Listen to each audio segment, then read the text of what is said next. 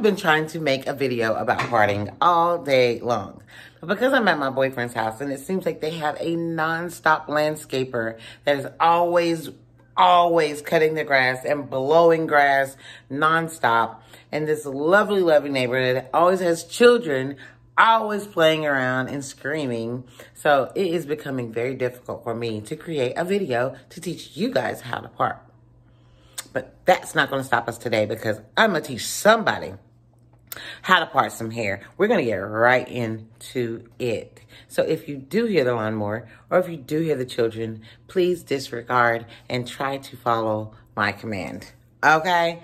Do you want to learn how to braid? If so, keep watching. So me. this is Maya and Maya is already has, I already created her, I already have her some pre-parted hair um, to give us a baseline on braids. I also created, created a braid sizing chart for those that are really trying to figure this out. They know how to braid. They know how to do box braids. They might know how to do soft locks or this or that, but they're still struggling with some of the techniques behind parting. And that's what we're gonna learn today is a little, we're gonna demystify parting. So there's several different ways that people do like to part. And I'll show you on Maya right now.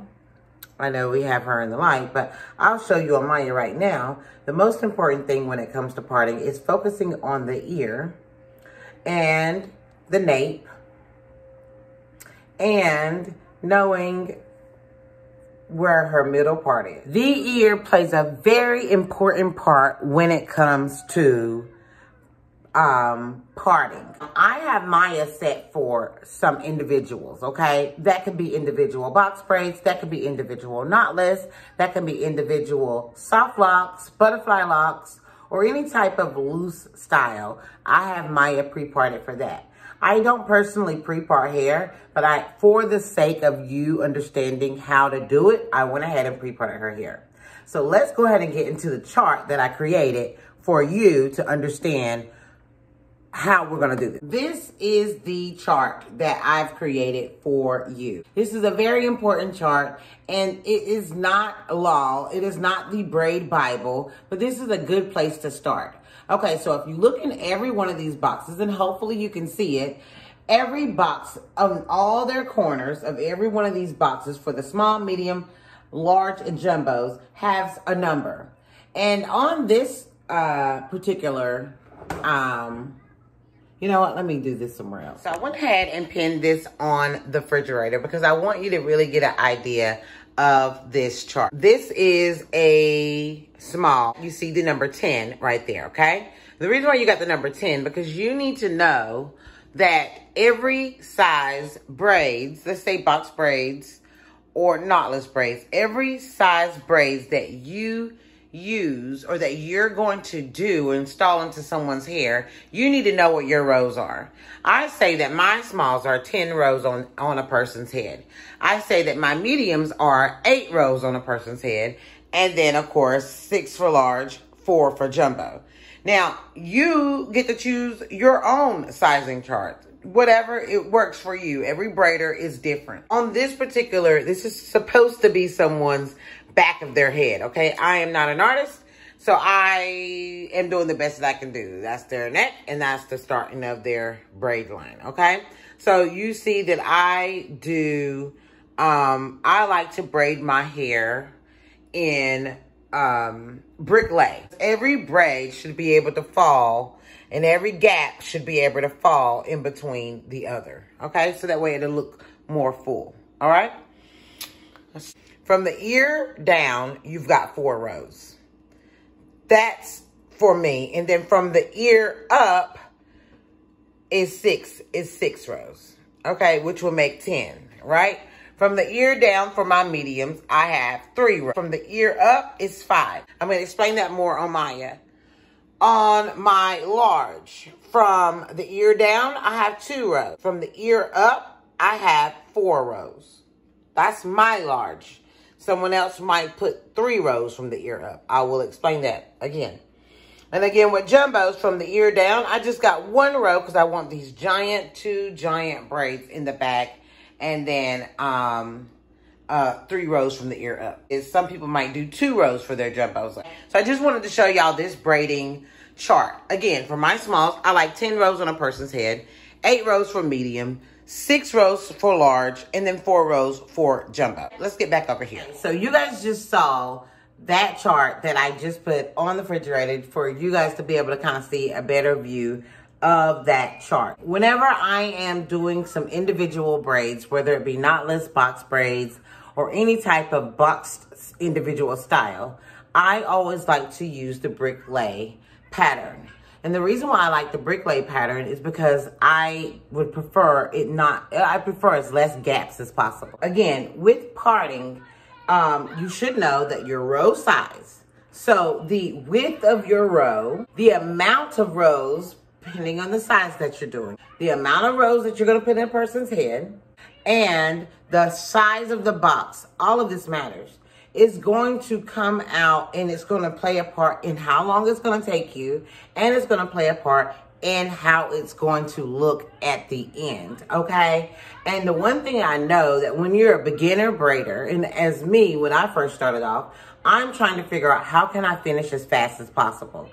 Yeah, you would more, you're, it's better off you trying to take your time and get it right. And if that puts a little extra time on the service, at least you know your client is going to be happy with what you have given them. So you don't want to rush a process that you're still trying to figure out. But you have got to get these parts right. If you don't get the part right, then, then just throw the whole braid away. If you can't part, then don't even try to braid. You know, you may understand the concept of braiding. You may be able to attach um, extension hair into a braid. But if you can't part, throw the whole braid away. So it is very important for you to take attention to the braids. I braid this way. This is the way I braid. I part, I part, I part, and then I go all the way around, all the way around, all the way around, all the way, like that. Some people take their hair and they'll take their client and then they will part halfway it's a half braid, uh, half uh, part like this. And then they'll braid all of this. And then they'll come in and start braiding the rest. Um, that does interfere with your bricklay. If you want a seamless look, then that you're not going to get that seamless look unless you really know how to make those rows line up. Now, I parted Maya's hair for mediums, but because Maya is a mannequin, and Maya is a mannequin. So, and because she is a mannequin, because Maya, Maya's a mannequin, her head is smaller than the average head. So it's going to give the appearance that these rows that I've created for her is going to give the appearance that um, it's smaller. But we're just going to pretend like Maya's head is not as small as it really is. Um, while I'm talking about head size, you need to know that size matters. Size matters with your parts. I'm not knowing how I'm going to make this a short video because I, have got to go through all of this stuff. And I might sound like I'm all over the place, but size of the person's head that you're doing does matter. All right. And again, row size matters. The amount of rows that you're going to do matter. And the box size matters. But not just the box size that matters. The size of the person's head matters. Okay? So we're going to talk about that real quick. As in my diagram, you saw that um, I did the, I did it like this. And I'll just bring this one up. This was a prototype. And let's see, you probably can't see it from back here, but you see how I kind of did it like that. Everybody's head neck or nape of their neck doesn't do like that. Okay? The average person's nape of their neck is this way. Okay? Some people's is like that. And some people's is like that. When you have a nape of the neck that is like this, you're going to, that is a bigger head. As someone that has a big head. And that's not, there's no offense in that. Everybody got to have a head. we can't, we can't, you know, what God gave us, we got to work with. So just because a person's got a big head doesn't affect their looks, doesn't affect anything. They just have a big head. They might have a little face, okay? But they might have a big head. And that's okay. But you as a braider, you need to know whenever you have a little head and when you have a big head, sit in your chair because you're going to need to know how long is this going to take me to do? Say you do have someone that has a bigger head that sits in your chair you are probably going to have to make some adjustments. For your normal mediums, the very first row, you might put four braids for the average person on that first row, okay? But for someone whose nape of their neck extends out into a square or rectangle, then you might end up finding yourself having to put five or even six. And you have got to know, depending on how many braids that you start with on the nape of the neck, that first row matters. So how many braids you put on the nape of that neck is going to determine how many braids is up here, how many braids is up here, how many braids is up here, okay? So for a bigger head person, you are going to have to consider that you're probably going to be braiding 30 minutes to an hour longer than the average person's head, okay? I'm even considering adding as an add-on do you want an extra row? Because one thing I'm not going to do, I'm not going to change my row amount unless that's something that it really should be something that I add as an as an add-on. Because it's not fair to my bigger head clients. Because my smalls are 10 rows. They might need 11 or 12 rows to really get that small look. They might end up with a medium look because they have a bigger head and I'm unwilling to to add an extra row um, because that's my chart size. If I have 10 rows, I might go down and give you nine rows as a small, okay? Or eight, I might give you seven rows as a medium, okay? Or six, I might give you, you see what, you see where I'm going here? Five rows for, depending on how big or small your head is, I may adjust that size, but I'm not to go up. Because if I go up on a person and I give them 11 rows or 12 rows, we're getting into extra small. And I really don't like doing extra smalls or any type of micro type of work. That's me. If you don't mind, then that's on you. So, again, you are going to have to know that this is just the average size. Let's just stop talking about big heads for a second. Let's stop talking about big heads for a second the average person, for my mediums, I've averaged, depending on if their head is average size or some heads are smaller. So for my medium, sometimes I end up with four rows at the very first row, excuse me, four boxes, and sometimes I end up with three boxes. It really depends on the size of the nape of that neck or the size of that person's head. Okay. But if you do do four rows, then up this the next row up is going to be five rows. And the next row up right at that ear is going to be six rows. Okay? And you just have to understand the importance is whatever you're doing from that person's ear down matters. Okay? So whatever's happening from the ear down. I think I said below the ear on the chart. My mistake. It's actually right here. Right here. That ear right there. Whatever's, because all this is for up here. So whatever's back here, I take from the top of that ear, right, and cutting it. It matters what you're doing, okay? Because it's going to determine the size of your braid. If you're bricklaying it, then it's going to give you pretty much the same exact size braids all the way through, okay? So, again, if I start with four, then that's going to be five, then that's going to be six. If I start with three, then that's going to be four, and that's going to be five. It doesn't matter. Whatever you can fit right here, and it still be a medium. From the ear down, it matters. So if this was a small, so I parted her hair from mediums, okay? So I've got her three rows from the ear down, okay? And then from the ear up, I've got one, two, three, four, five. And I count that from the middle part down. So from the from the ear to the middle part, how many braids do you have? Okay. So I have one, two, three, four, five. All right. So that's five plus three. That's eight rows. Remember on my chart, I have eight rows for mediums. Okay. I don't, I don't say that that's, I don't say that that's 10.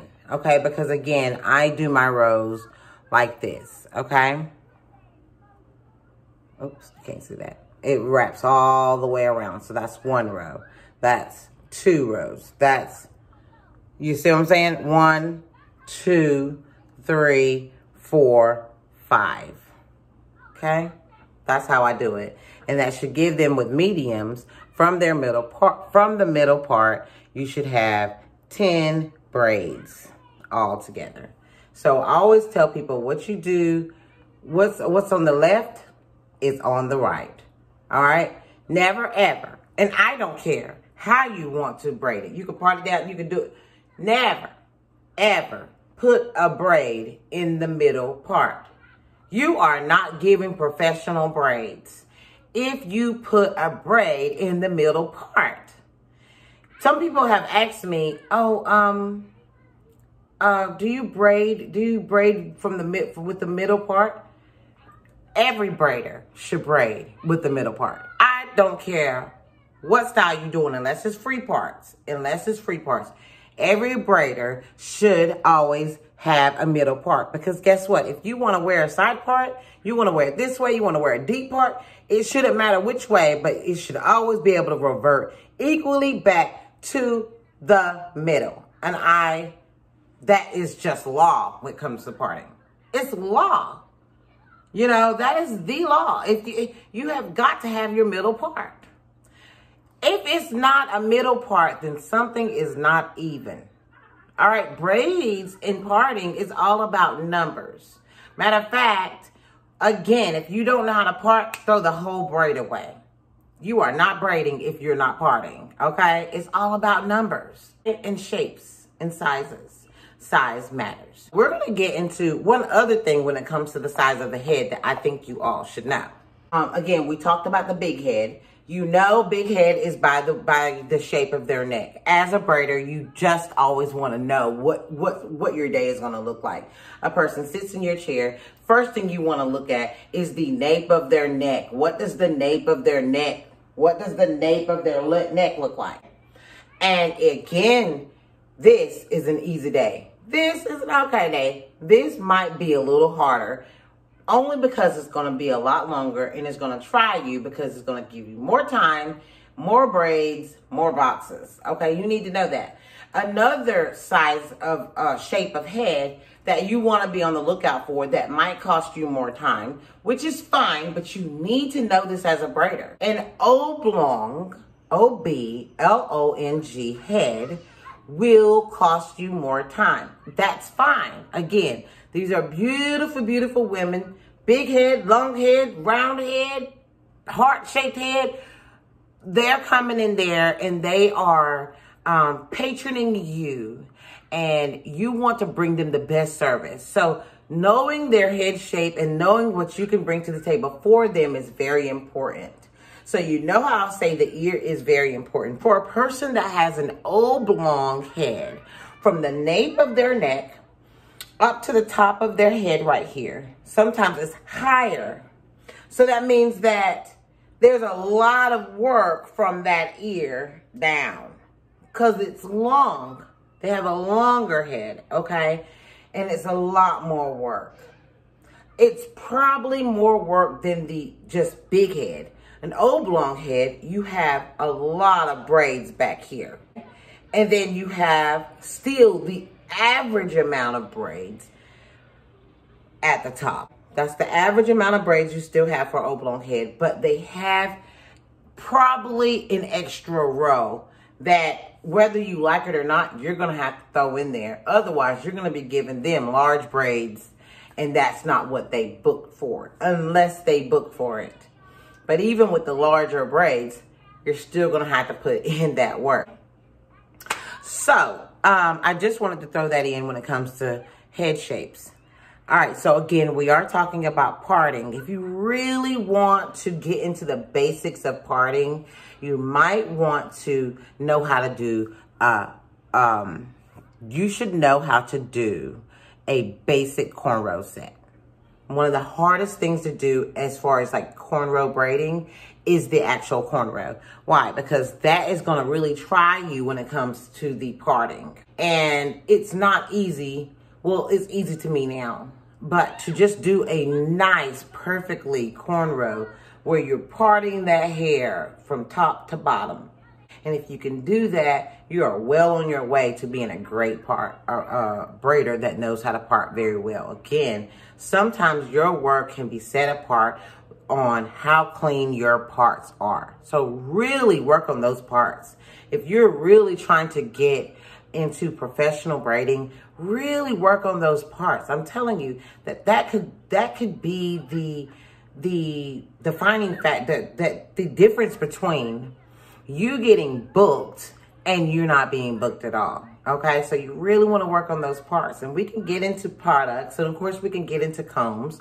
We can get into tools and utensils that you want to want to use, but um, practice that parting. So let's just take a look at Maya one more time.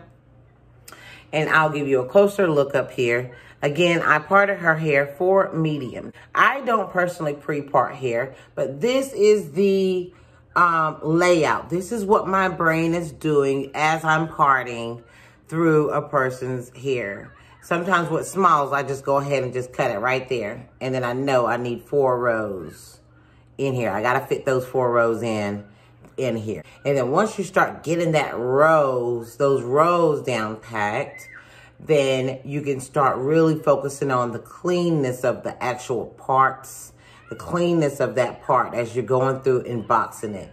And again, really try your best to uh, brick lay those boxes. Practice on the brick lay, practice on those rows. Now, if you do decide to do it in this way, you want to focus on, there's some things that you do want to know ahead of time. You want to know that these, these braids right here, these braids, uh, these three braids right here, all the way around, are the longest braids it's going to take for you to do. So when you're doing that row, that's going to take a heck of a long time. This row, a long time. That row, a pretty long time. And then once you get to these rows right here, these two, one, two. Once you get to those rows, you know you've made it to the home stretch.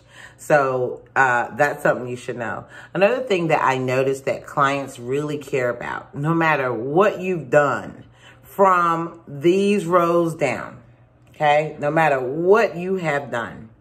Outside of you not tugging on their edges too much, because we can get on that topic of conversation when it comes to braids. We'll talk about that in another video. But something that clients really care about.